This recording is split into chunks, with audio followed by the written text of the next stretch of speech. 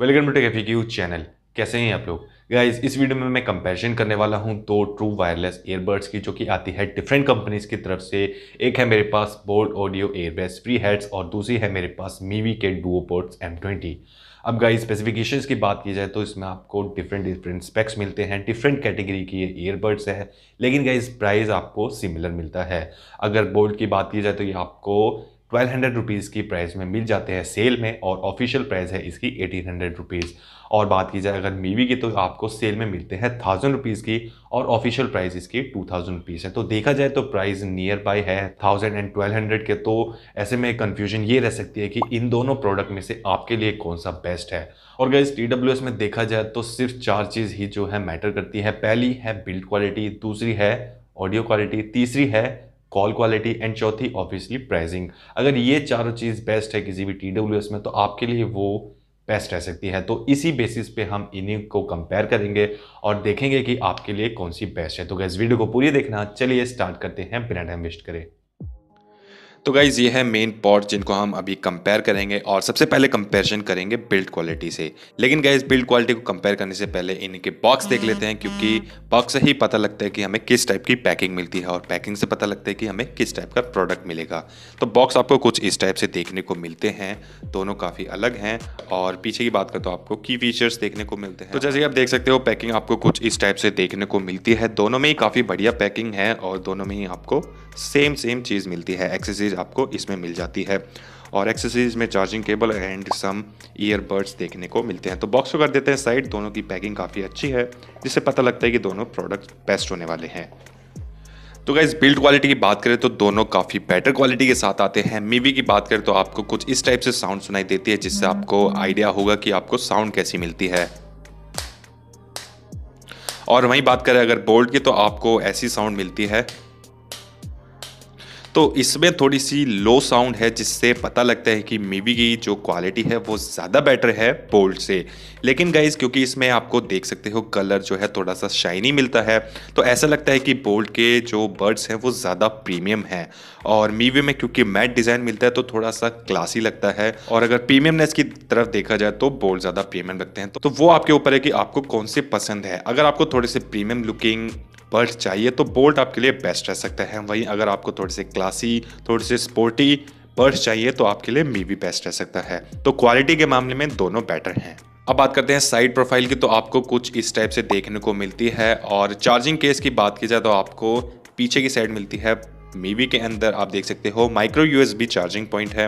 वहीं बात की जाए अगर बोल्ट की तो आपको नीचे मिलती है टाइप सी अब गाइज़ यहाँ देखा जाए तो बोल्ट के पास एक अपर हैंड है कि आपको टाइप सी चार्जिंग पॉइंट मिलता है, क्योंकि मीवी में आपको माइक्रो यूएसबी पॉइंट मिलता है। तो यहाँ बोल्ट के पास एक अपर हैंड है।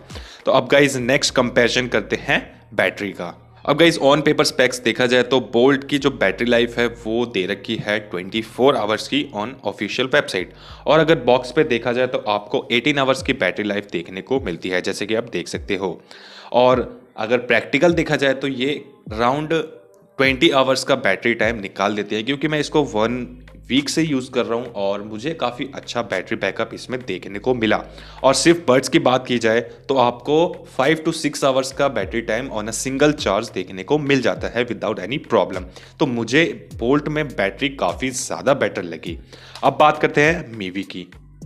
अब गाइज़ मे बी में आपको ऑन पेपर देखा जाए तो 20 आवर्स का बैटरी बैकअप देखने को मिलता है। अगर बॉक्स में देखा तो आपको 20 आवर्स का बैटरी बैकअप मिलता है और ऑफिशियल वेबसाइट पे भी इतना ही बैकअप देखने को मिलता है। अब बात करें अगर बर्ड्स की तो उसमें आपको सिक्स आवर्स का बैटरी बैकअप देखने को मिलता है, जो कि अगेन सेम है दोनों के अंदर।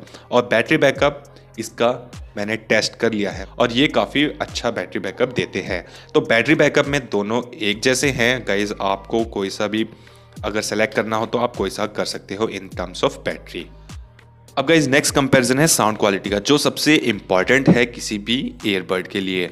तो मैं अभी माइक में एक एक करके इनकी साउंड सुनाता हूँ, जिससे आपको आइडिया हो जाएगा कि किसमें ज़्यादा लाउड साउंड आती है.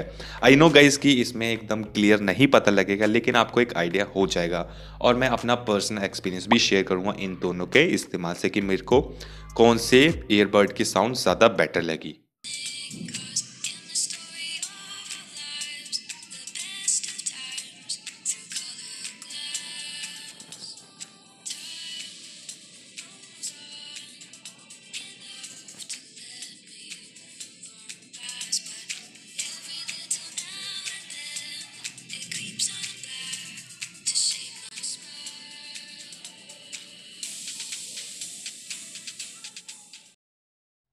तो गई जैसे कि आपने इन दोनों की साउंड सुनी, काफ़ी ज़्यादा क्लियर थी और ये थोड़ा सा मुश्किल होगा बताना कि किसकी ज़्यादा है, लेकिन बोल्ट की ऐसा लगा कि थोड़ी सी कंपैरेटिवली ज़्यादा है मीवी की बॉड से।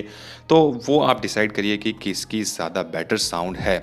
और बेस की बात करूँ तो मैं अपना पर्सनली ओपिनियन दूँ तो मुझे बोल्ट की जो साउंड है वो ज़्यादा बेटर लगती है और बेस भी है वो थोड़ा सा ज़्यादा बेटर लगता है। बेसिकली बात की जाए अगर क्वालिटी की साउंड क्वालिटी की तो बोल्ट थोड़ा सा मार्जिन से आगे है।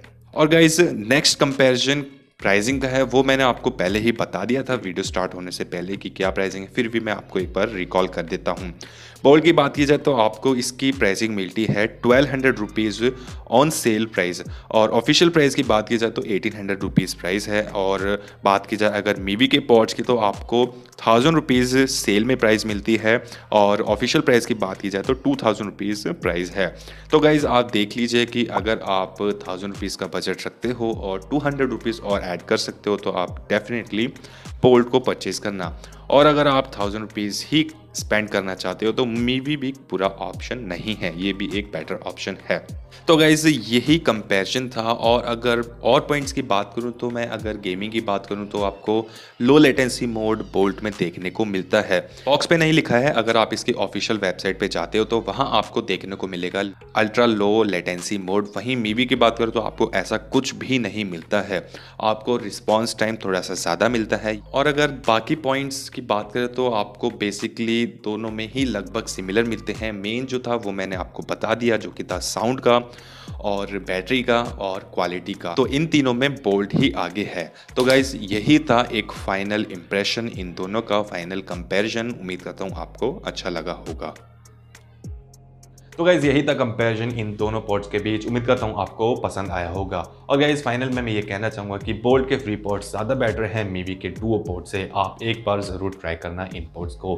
और गाइज़ इस वाली वीडियो में इतना ही था। उम्मीद करता हूँ आपको अच्छी लगी होगी। और वीडियो अच्छी लगी तो वीडियो को लाइक कर देना शेयर कर देना और चैनल को ज़रूर सब्सक्राइब कर देना। फिर मिलेंगे अगली वीडियो में। तब तक के लिए बाय बाय